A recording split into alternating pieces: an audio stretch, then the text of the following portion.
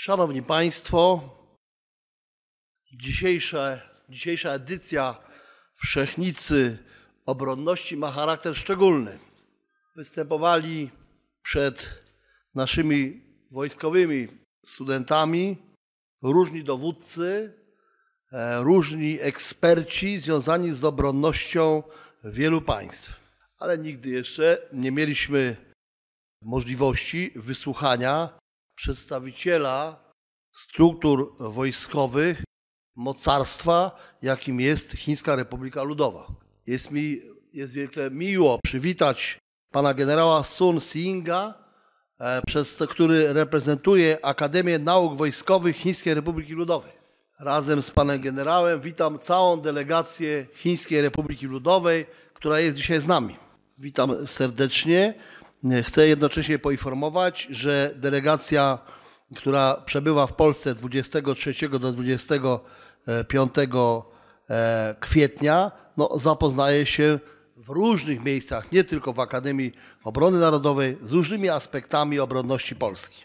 Są to spotkania w Ministerstwie Obrony Narodowej oraz Biurze Bezpieczeństwa Narodowego. Sam pan e, generał Sun Sing jest młodym człowiekiem, Urodził się w 1951 roku, ale bardzo doświadczonym e, człowiekiem związanym z bezpieczeństwem i obronnością Chińskiej Republiki Ludowej. Dlatego jesteśmy bardzo szczęśliwi, że za chwilę będziemy mogli wysłuchać wykładu pana generała.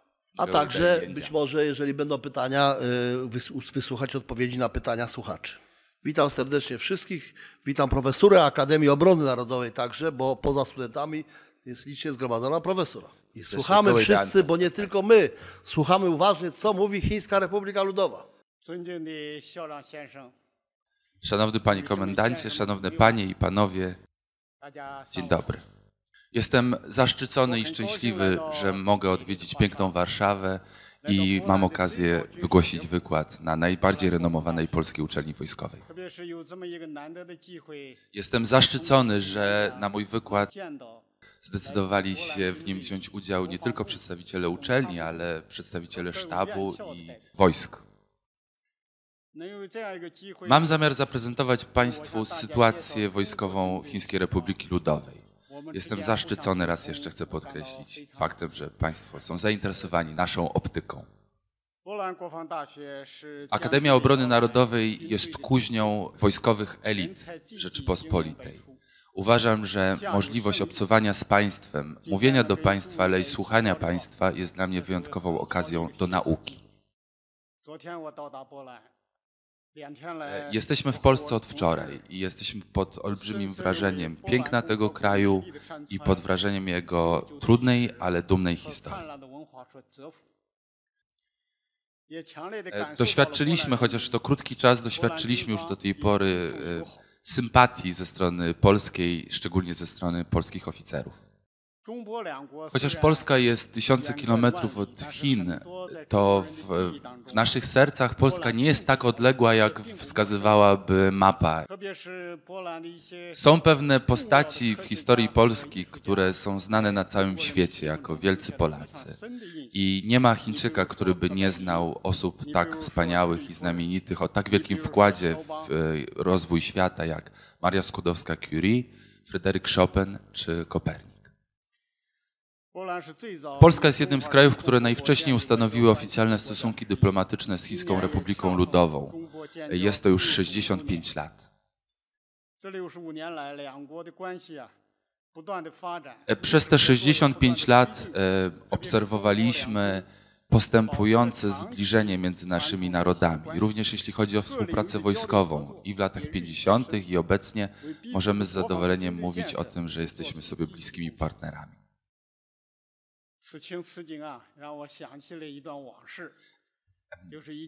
Jesteśmy tutaj, a mi się przypomina y, wizyta, pierwsza wizyta założyciela naszej uczelni, marszałka Ye Jianing, który w roku 1958 w październiku odwiedził Polskę. Pod wrażeniem tej wizyty napisał osiem wierszy.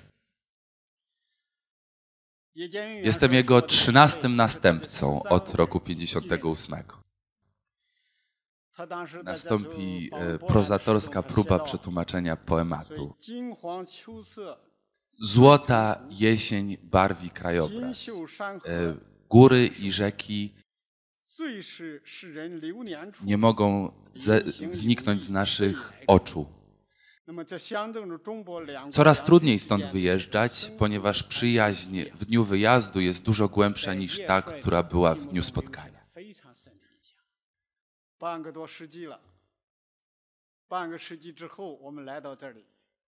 Minęło trochę więcej niż 50 lat, dużo czasu, ale mam nadzieję, że ten poemat oddaje relacje między nami. Szanowni Państwo, współcześnie pokój, rozwój, współpraca i zasada wspólnych korzyści, obopólnych korzyści stały się zasadą relacji międzynarodowych. Jednak e, nie jest tak w zupełności i wraz z rozwojem świata mamy do czynienia z kolejnymi wyzwaniami i niebezpieczeństwami, które napotykamy na swojej drodze rozwoju. Myślę, że polska optyka jest podobna do chińskiej pod tym względem i że powinniśmy współpracować międzynarodowo nad tym, aby świat był coraz bezpieczniejszy. Chiny są największym na świecie krajem rozwijającym się. W przeciągu ostatnich 30 lat polityki otwarcia i rozwoju w samych Chinach zaszły wiekopomne zmiany, które miały efekt również globalny i mają e, bardzo głęboki wpływ na to, gdzie znajduje się świat w tym momencie. Chiny niezmiennie pozostaną na drodze pokojowego rozwoju, niezależnej polityki zagranicznej, pokoju oraz będą stały na stanowisku, że narodowa polityka obronna jest obronna z natury, zaś Chiny nigdy nie będą dążyły do hegemonii, ani zachowywały się w sposób charakterystyczny dla hegemonów w żadnej czasie i wobec żadnego kraju.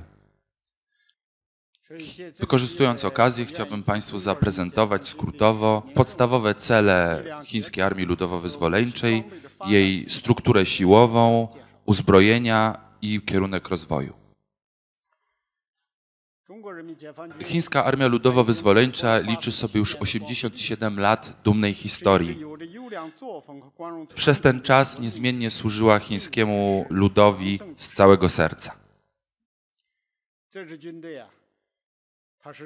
Chińska Armia Ludowo-Wyzwoleńcza, podlegająca bezpośredniej kontroli Komunistycznej Partii Chin, cały swój wysiłek kierunkowuje ku realizacji celów rozwojowych Chińskiej Republiki Ludowej na rzecz dobrobytu chińskiego ludu. Chińska Armia Ludowa jest zdeterminowana dla przeciwstawiania się agresji, wzmacniania obrony narodowej oraz ochrony kraju. Również z całych sił wspiera kraj w realizacji chińskiego snu, chińskiego marzenia. Jest sześć podstawowych zadań, które stawiane są przed chińską armią ludowo-wyzwoleńczą.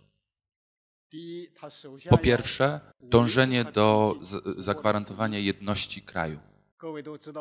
Zapewne Państwo wiedzą, że Chiny są jedynym z wielkich krajów, które nie są w pełni zjednoczone. Chińska Armia Ludowo-Wyzwoleńcza będzie dążyła do zrealizowania celu jedności kraju, będzie przeciwstawiała się w sposób najbardziej stanowczy wszelkim separatyzmom, e, chęcią rozbicia jedności kraju albo tworzenia nowych bytów. Zachowanie terytorialnej integralności w każdych warunkach, o każdym czasie jest podstawową zasadą, której się trzymamy. Oznacza to zarówno zachowanie integralności terytorialnej lądowej, jak i morskiej.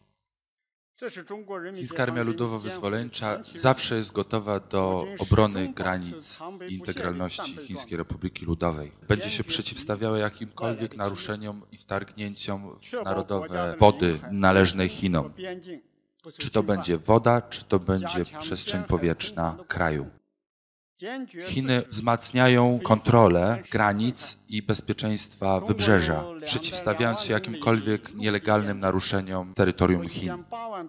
Z linią graniczną liczącą ponad 22 tysiące kilometrów długości, z linią brzegową przekraczającą 18 tysięcy kilometrów, Chiny są jednym z e, krajów o największej ilości sąsiadów i najdłuższych granicach.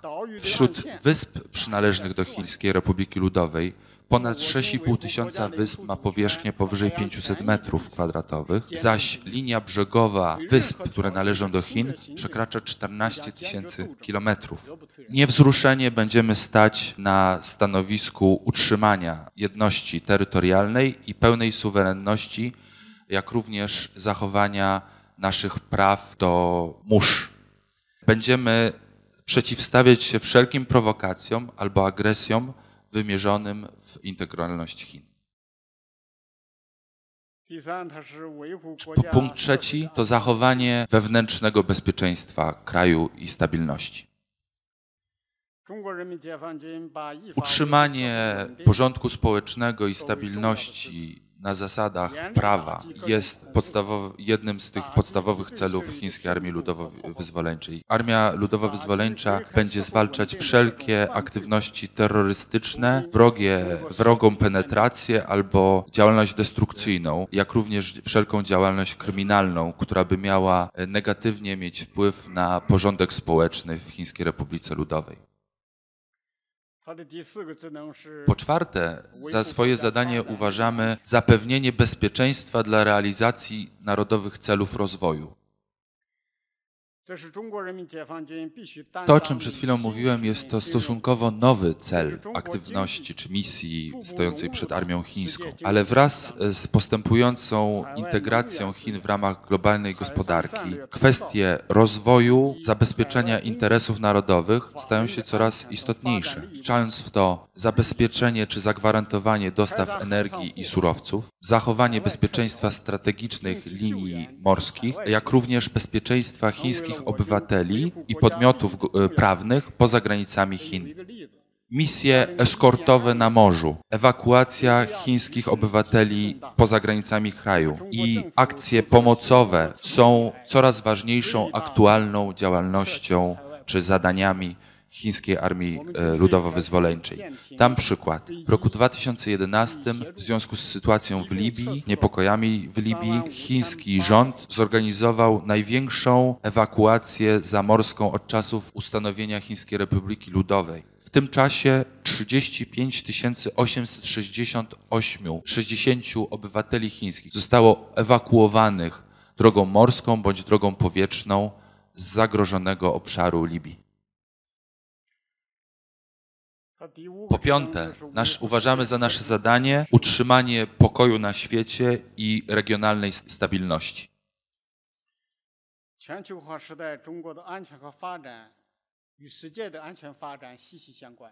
Nie da się ukryć, że e, bezpieczeństwo Chin jest stricte związane z sytuacją międzynarodową współcześnie. Z tego powodu zacieśniamy naszą współpracę z innymi krajami, uczestniczymy w organizacjach regionalnych i międzynarodowych, również o charakterze bezpieczeństwa i pewnego czasu odgrywamy aktywną rolę we wszystkich działaniach dążących do stabilizacji na świecie.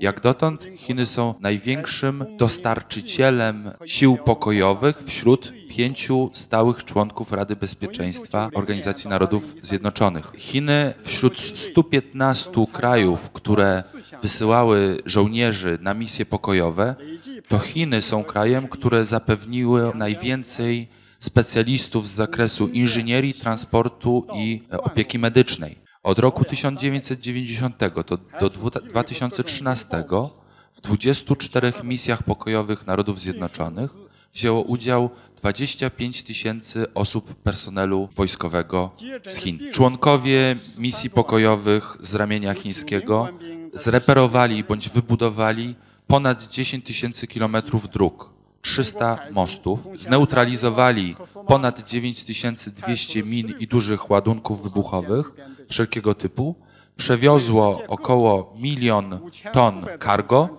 i objęło opieką medyczną ponad 130 tysięcy pacjentów. Dziewięciu oficerów i żołnierzy oddało swe życie w ramach tych misji. Jak dotąd Chiny szesnastokrotnie brały udział w połączonych misjach bezpieczeństwa w obszarze Zatoki Adeńskiej i wód Somalii, zabezpieczając w ten sposób około 5400 statków, które przepływały przez te wody.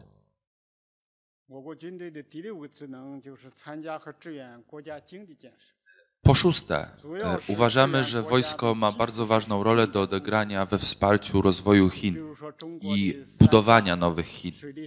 Armia chińska mocno wspiera budowę strategicznych dla kraju projektów o charakterze infrastrukturalnym. Dla przykładu, słynna Tama Trzech Przełomów była budowana z udziałem inżynierów wojskowych. Również rozwój dróg, kolei bądź lotnisk w nieco zacofanej zachodniej części Chińskiej Republiki Ludowej jest przemieniana, jest modernizowana, jest budowana od nowa dzięki wysiłkowi chińskiej armii.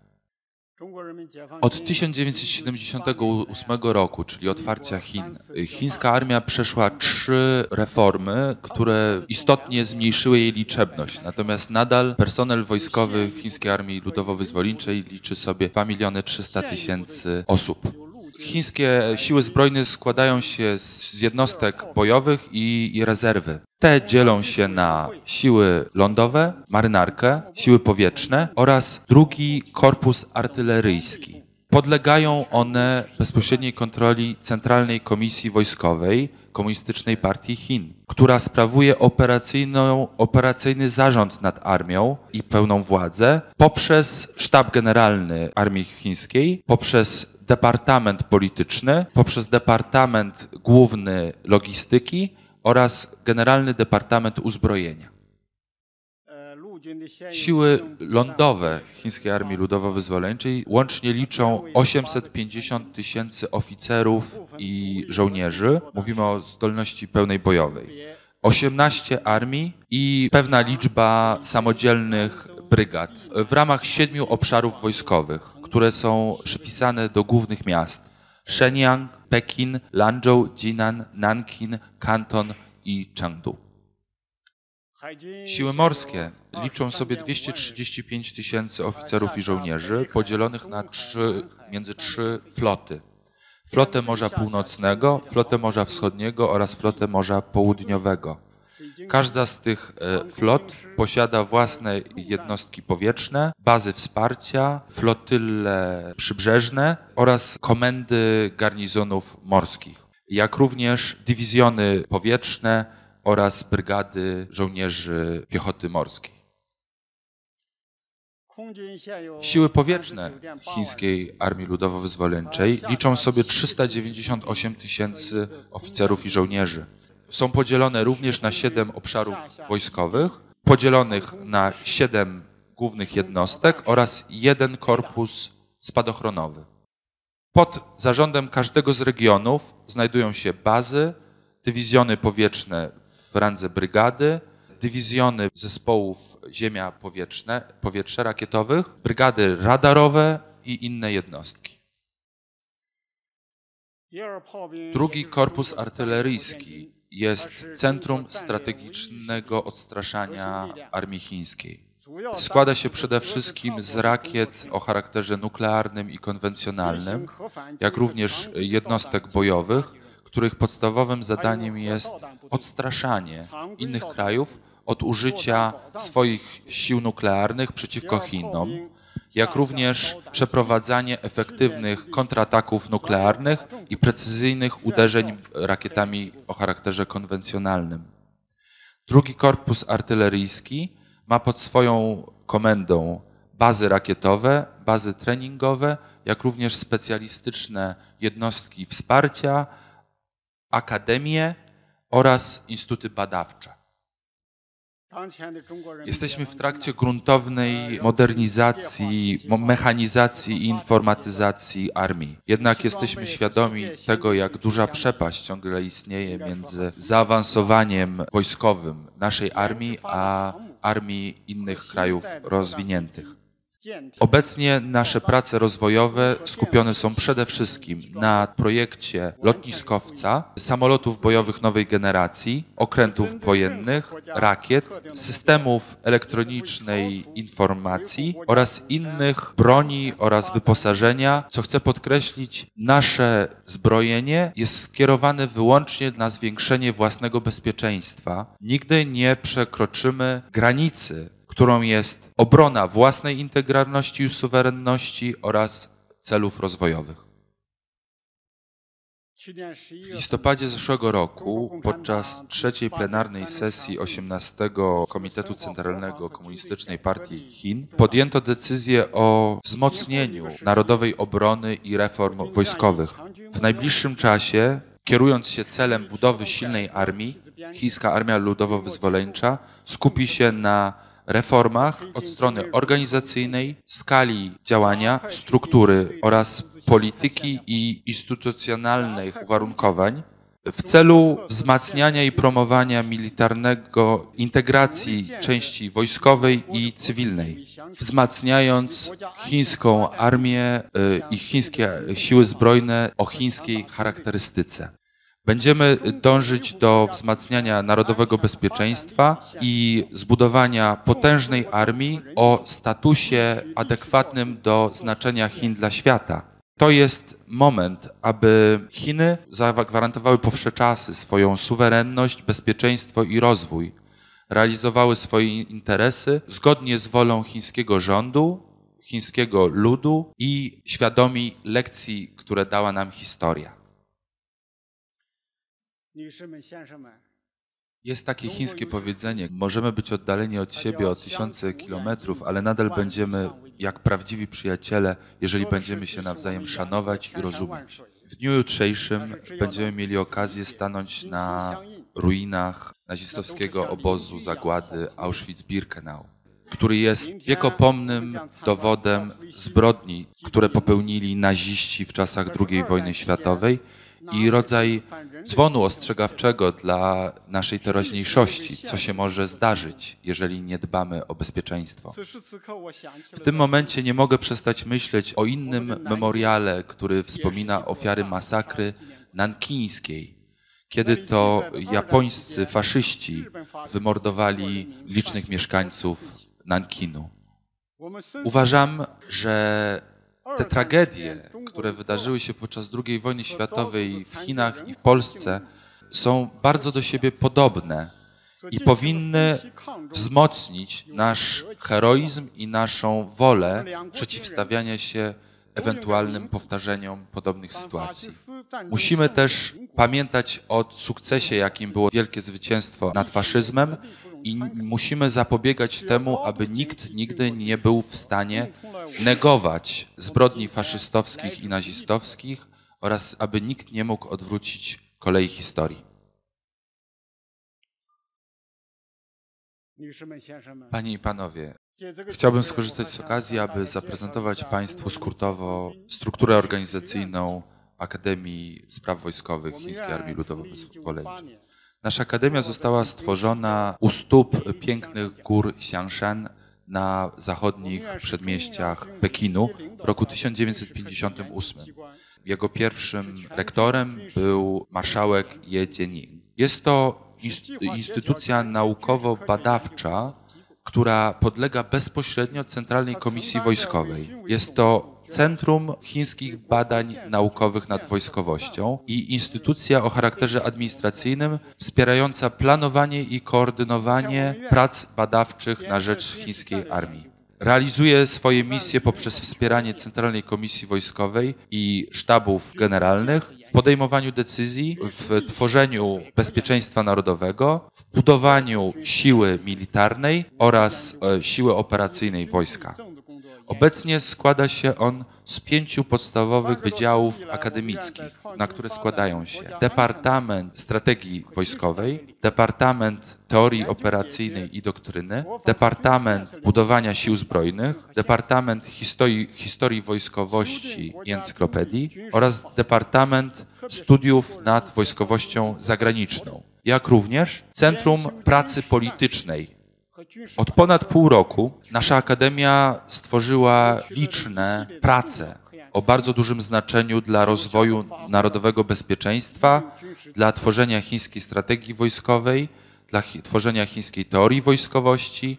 Wreszcie miało bardzo duże teoretyczne i praktyczne znaczenie w rozwiązywaniu problemów w tworzeniu narodowej obronności i sił zbrojnych Chińskiej Republiki Ludowej. W ostatnich latach nasza uczelnia nawiązała liczne kontakty międzynarodowe. Wymienię tylko partnerów z Niemiec, Rosji, Japonii, Korei Południowej, Szwecji, Stanów Zjednoczonych oraz dziesięciu innych krajów, których instytuty i uczelnie współpracują z nami na polu dydaktycznym. Ustanowiliśmy forum Xiangshan. Xiangshan to jest miejsce uczelni. Również okrągły stół wymiany poglądów chińskiego mistrza Sunzy, jak również forum Chiny Wschód na rzecz pokojowego dialogu. Szanowni Państwo, mam nadzieję, że i z, z Wami będziemy mogli zawierać przyjaźnie, wymieniać poglądy, dzielić się wiedzą. Mam nadzieję, że oba kraje będą podążały drogą pokoju i przyjaźni, a my poprzez naszą pracę się przyczynimy. Dziękuję bardzo.